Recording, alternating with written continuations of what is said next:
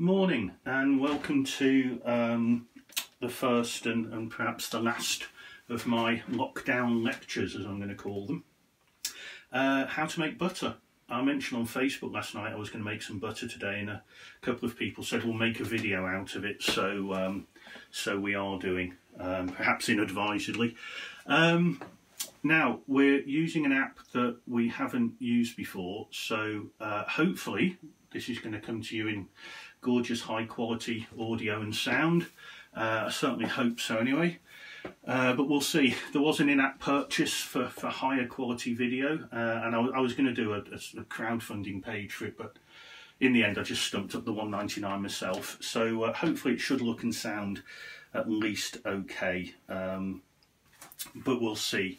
Now, how to make butter. First thing we need to do is very quickly just talk about the equipment that you're going to need, because you are going to need a very small amount of equipment.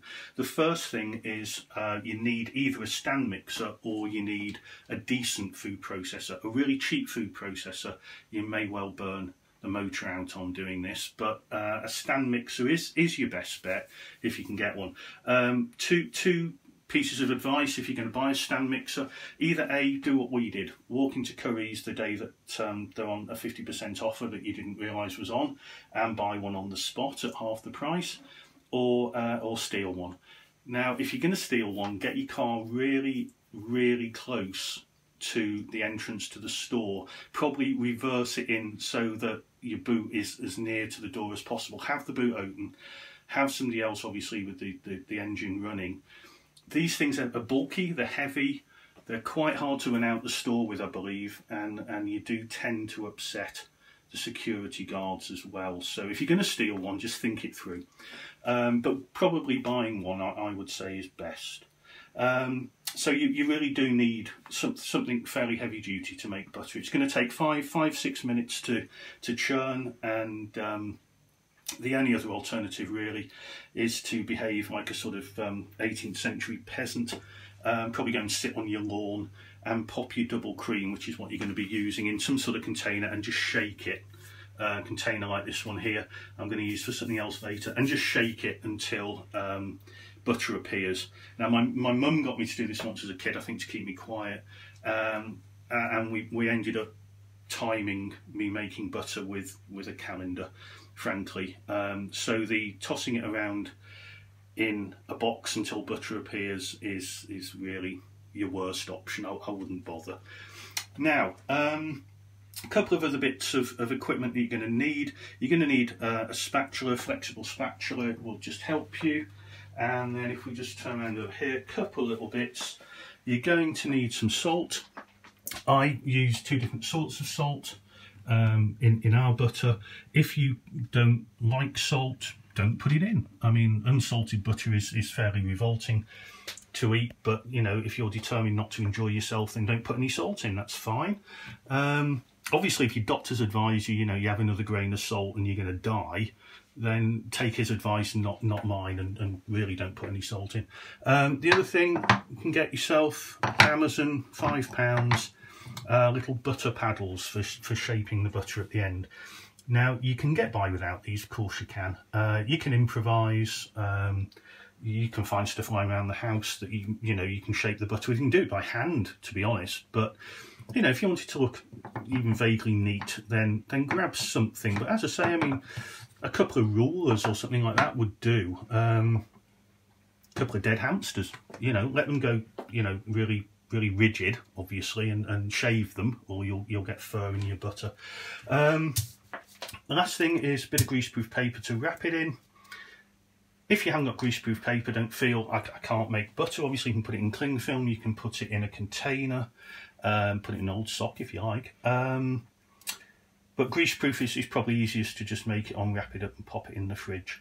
Um, I'm sure you'll figure something out. If I have to talk you through the alternatives to greaseproof, you probably shouldn't be using a stand mixer anyway. So, uh, turning back to the mixer, what I did earlier was pop the cream into the mixer and I left it running for about five minutes.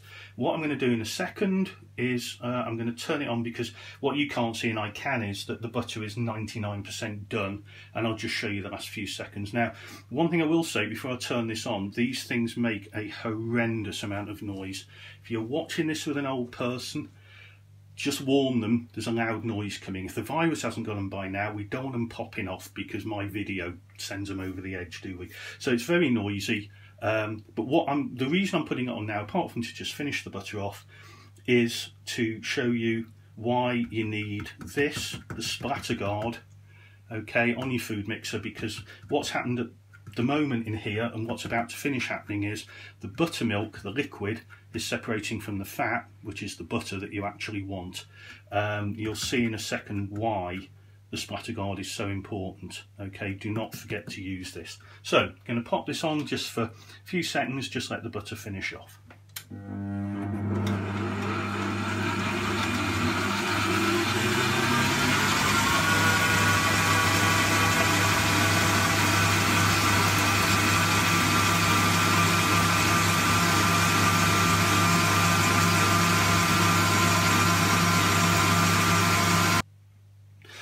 So, you can see the splatter guard there, um, bit of a mess with buttermilk. So, I'll open that up in a second. Uh, one thing I didn't mention is uh, if you want to reduce the time it takes you to get to this point, take your cream out of the fridge 30 to 45 minutes before you actually want to churn it because for some reason when I, I don't understand the science but when the um, cream is at more more of a room temperature um, it churns faster. Okay, don't understand why. Clearly, don't take it out too far ahead, or you'll um, well, you'll have rancid cream. Right. So now this is where, if you're me and you're obsessed with not making a mess, uh, even though we are in the smallest, oldest, and least renovated bit of the house, um, as you can see, um, then you have a cloth handy. Okay, because what I'm going to do now is take the buttermilk out of the equation put it in a container so Melinda can make scones later. Right, so this is the bit that I get really OCD-ish about. I hate having buttermilk go everywhere. It kind of does, and there's not a lot I can do about it. So, there you can see we have buttermilk and we have butter. Now then, um, quick word at this point. If you wanted to, you could now scrape this butter off the uh, balloon whisk and you can put it in the fridge. If you're going if you know you're going to eat it all in, in the next 48 hours, don't do anything else now apart from salt it if you want to and throw it in the fridge. If you want to be able to keep it two to two and a half weeks, you've got to go through all the other malarkey I'm about to go through. So, first of all, taking off, uh, taking out, sorry, the buttermilk. So have yourself a cloth again, if, if you're not like me and you don't care about making a mess, then don't bother with the cloth. So that comes off there, that goes on there, and we just drain this buttermilk.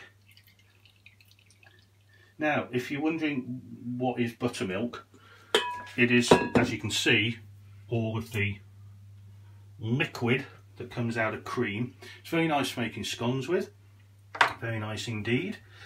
Now, uh, pro probably, you know, if you, can taste it, I mean, it just tastes like buttery milk, funnily enough. I mean, you wouldn't want to make a milkshake out of it, be a bit sickly. But um, essentially, you know, um, very useful for buttermilk biscuits, scones, etc. So, nice byproduct. You know, if you go to Sainsbury's, that'll cost you a quid. So, you've got it for free. Now then, this is the next bit. We now need to do a few things with the butter we've made. So, first things first, we are straight over to the sink. Sorry, I've got to wipe that.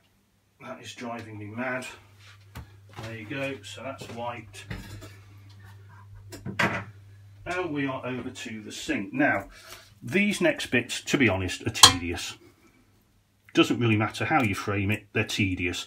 But if you want your butter to last without going rancid, then you have to A, remove as much of the remaining buttermilk that's still in it that you can't see, and then B, bizarrely, uh, you have to uh, dry your butter off a bit because once you've washed it, which is what I'm about to do to get the excess buttermilk out, you've then got to dry it because it's soaking wet. So, okay, that, as I say, is a finished product, but you can see pooling up at the bottom there. We've we've got buttermilk that we haven't we haven't dealt with yet. So we need to get all that out. Now you can start to get it into some sort of a lump, and then and this is really dull. You wash it.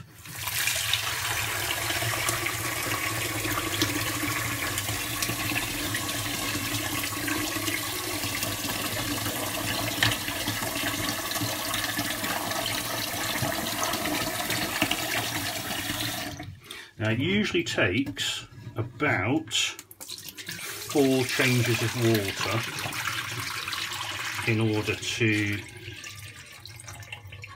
remove as much of the buttermilk as can. But basically, push the butter around in the water, squeeze it, um, do it for as long as you've got patience really. But the longer you do it for, the longer your butter's going to last. So, you know, it's an investment.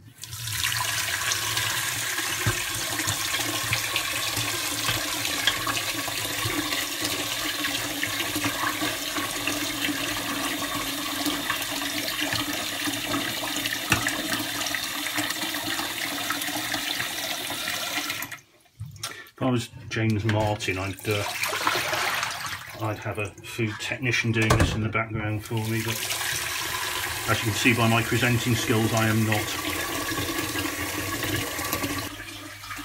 In the interim, we'll just flashed in some um, collection of chili sauces.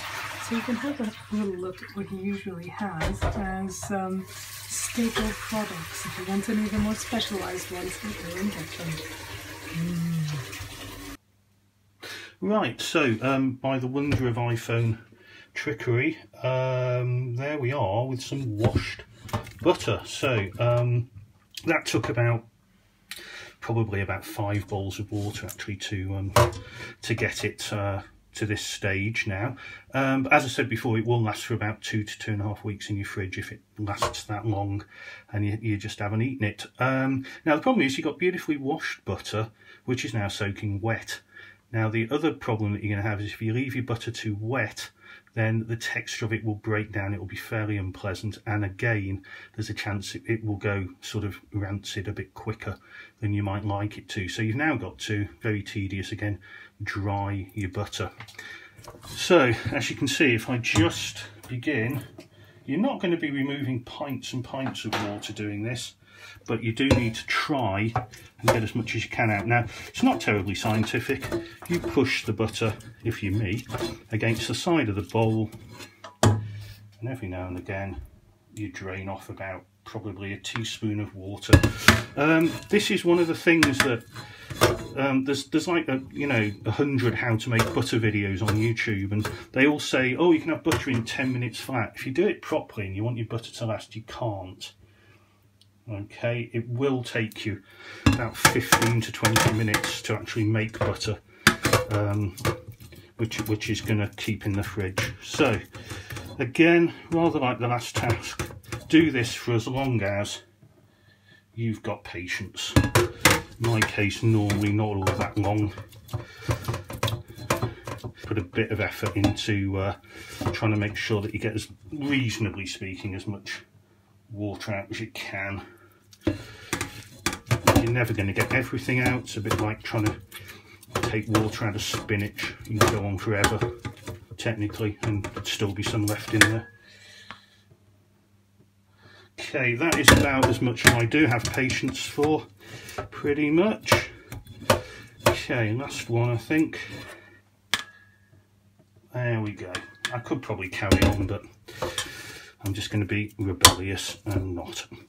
Now, this is the stage that um, you don't really want to forget, and that's popping in a little bit of salt, or if you've got absolutely no regard for your heart and um, the rest of your body, possibly a lot of salt. Um, it's up to you. So I tend to go for, simply because we've got a five kilogram bag of it upstairs, um, a bit of fine salt. This is Himalayan pink salt. You can use anything you like. Don't use that awful free running table salt. It tastes weird. Um, about, about half a teaspoon ish. That was probably a bit much actually, so that'll do. About half a teaspoon suits us. Using the fine salt, that is your all pervasive salty flavour. Then for an occasional crunch of salt, and you can use mould and put it in with your fingers if you want, or leave it out completely, I grind a bit of coarse um, sea salt. Literally, rule of thumb, three grinds. Then the easiest thing to do this with, grab yourself a fork and mix it through. Nobody wants, you know, to come across a massive wadge of salt in one mouthful. So mix it through your butter pretty well, turn it over, just sort of mix it through and probably don't suppose I need to show you how to mix butter with a fork. Right then, uh, I've turned this butter out onto the, um, the grease proof and now we just need to shape it. Now there's, there's no rules for this. Um, you could just roll it into a log with your hands if you wanted to um, and stick it in the freezer. Um, you know, it's up to you. This is also the point where if you want to, probably before you put it on the greaseproof paper actually, you can add things to it like um, fresh herbs, dried herbs, chili, you know, you name it really. If you want to flavour the butter, now is about the time to do it. So, um, literally just shape it up. Or to be honest, if that'll do you, wrap it up and put it in the fridge like that. Up to you. Now, the one thing I will say, it's pretty warm in this kitchen. And I've been working with this butter, as you can see, for a while. And it is getting very, very soft. Now, this is going to happen. You're obviously better off making butter in the winter, in the autumn, um, but you know, it's kind of unavoidable that you're going to want some in the summer probably. So what you can do at this point, if, if it's really a nightmare to work with, stick it in the fridge as it is for half an hour, let it firm up, bring it out and then shape it. But I'm just going to kind of do my best to get this done as quickly as possible. A couple of things about shaping it, and I, I am no expert as you can see. A couple of things um, do put some pressure on it, downward pressure on it a few times, because as you can see, there's lots of cracks in it. Now this is kind of what makes it homemade, gives it a bit of texture. You're not going to get it like that bright yellow, you know, obviously very sort of processed butter that's gone through an industrial process in a factory. You're not going to get that at home. Okay, it's going to look a bit rustic, I suppose is the word. It's going to look a bit homemade, but do make sure you do apply some downward pressure to it a few times and try and just compact it so that it will cut nicely in the future. Now, most of the time, you actually just need one of these to shape it and, your hand moving the paper around, but they're nearer to the end when you want to get it into an actual shape. Let's just get that a bit more square on the paper then you do need two okay and literally just you know there you go. Block of butter. Keep going again for as long as you've got patience. It's my phrase of the day that isn't it? Um, just keep going. If you want to put patterns on it feel free. Uh, doesn't really do anything much for me so I don't. Um, and that is about that. Um, and all I'd say is just sort of know when to stop. If you want to, you know, get it to look quite nice, then one way to, to actually get a, a reasonably nice finish I found on it is to just lightly brush over it. If you want to. Absolutely up to you. If you're looking at that and thinking it's absolutely the wrong shape, I wouldn't have done that. Well, you do yours your way. That is fine. Last thing I tend to do before I wrap it up you will notice there are some bits of moisture on the grease proof. You don't have to, but why not get rid of them? It's just, again, future-proofing your butter for as long as possible. And that is butter done. Thanks very much indeed for um, watching and listening. And, um, well, I, I just hope it wasn't too torturous for you.